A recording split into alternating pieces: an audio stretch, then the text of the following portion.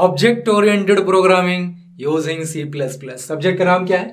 Object oriented programming using C plus plus subject code two two three one six sir, किसका subject है ये? Computer and IT group में ये subject है, बराबर? आप चेक कर लो, आपको ये कोड रहेगा।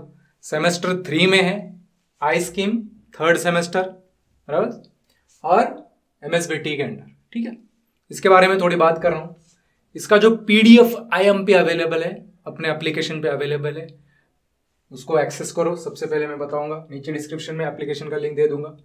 उसके बाद मैं चैप्टर्स के बारे में कुछ बताता हूँ। पाँच चैप्टर्स है टोटल इसमें। Principles of object oriented programming मतलब इसमें ऑब्जेक्ट ओरिएंटेड प्रोग्रामिंग क्या होता है, इस चैप्टर में बताया जाएगा। Classes and object object oriented programming का पार्ट होता है। क्लासेस होते हैं ऑब्जेक्ट होता है। उसके बारे में देखा जाएगा। इनहेरिटेंस एक नाम की चीज़ होती है। बराबर? तो एक क्लास दूसरे क्लास को इनहेरिट कर सकता है। वो है थर्ड चैप्टर फोर्थ है पॉइंटर्स बराबर? एड्रेस को पॉइंट करने के लिए। Polymorphism in C plus plus and working with files मतलब कोई भी फ़ाइल जो बोलते हो आप कंप्यूटर में नोट पैड वगैरह ओपन करते हो, वो फ़ाइल ही बोला जाता है। उसमें कंटेंट कैसे ऐड करते हैं प्रोग्राम में कैसे लोड करते हैं, वो सीखा जाए तो इन शॉर्ट इसमें ये पाँच चैप्टर्स हैं और मैंने इसका एक एनालिसिस करके मैं आपको बता रहा हूँ। सत्तर मार्क का तो पेपर होता है फाइनल वाला।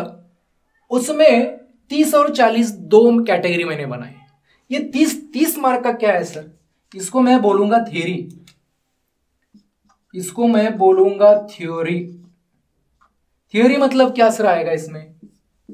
डेफिनेशन सिंटैक्स सिंटैक्स बताओ किसी चीज़ का। डेफिनेशन बताओ।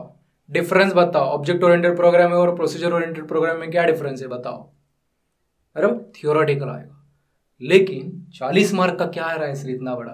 प्रोग्राम्स 40 मार्क लगभग 40 मार्क का प्रोग्राम्स आता है। पांचवा और छठा क्वेश्चन तो छह छह मार्क के चार क्वेश्चन आपको करने मतलब पाँचवें क्वेश्चन में छह मार्क के दो क्वेश्चन छठे क्वेश्चन है छह छह के दो। मतलब बारह और बारह, चौबीस, वो तो पूरे प्रोग्राम भी होता है। उसके पहले भी प्रोग्राम्स होते हैं। चार मार्क के प्रोग्राम छः मार्क के प्रोग्राम बराबर? कभी चार मार्क मतलब मार्किंग के सिस्टम में यहाँ पे फिक्स नहीं है। ये प्रोग्राम चार को पूछा जा सकता है। अगले पेपर में अगले साल वही क्वेश्चन वही प्रोग्राम छः मार्क के लिए पूछा जा सकता है। बराबर? लेकिन programs are very important theory का प्रिपरेशन तो हम कर सकते हैं सर रट रट के कर लेंगे, याद रखेंगे, लिख लिख के याद रखेंगे। टेक्निकल टर्म से कंसेप्ट अंडरस्टैंड हुआ है तो वैसे याद में रह जाएगा। लेकिन प्रोग्राम्स का कैसे करेंगे स्टडी प्रैक्टिस प्रोग्राम में सबसे पहले लॉजिक और उसके बाद प्रैक्टिस लॉजिक डेवलपमेंट और प्रैक्टिस कैसे होगा सर ये? एक ही चीज़ है। कंप्यूटर ले लो कंप्यूटर लैपटॉप जो भी है डेस्कटॉप आपके पास प्रैक्टिस चालू करो। छोटे से छोटे प्रोग्राम से स्टार्ट करो और पूरा प्रैक्टिस करो। अगर जितने भी प्रोग्राम्स मैंने दिए हैं आईएमपी कोर्स में, उतने भी आप अगर लॉजिकली खुद से बना पाते हो ना तो उसके टाइप का कोई भी प्रोग्राम आ जाए आप कर लोगे। बराबर? ये मैथमेटिक्स की जैसा है। एक प्रॉब्लम स्टेप वाइज सॉल्व किया तो नंबर चेंज हो गया तो दूसरा प्रॉब्लम भी कर सकोगे आप। तो सेम है। बराबर? प्रोग्राम में रटना नहीं होता है। Practice is important logic build करना पड़ता है। तो उस तरीके से आपको टाइप कर करके प्रोग्रामिंग का करना है। चालू करो। एक हफ़्ते से ज़्यादा का टाइम है आपके पास। चालू करो। रोज प्रोग्राम करना साइड बाय साइड बराबर?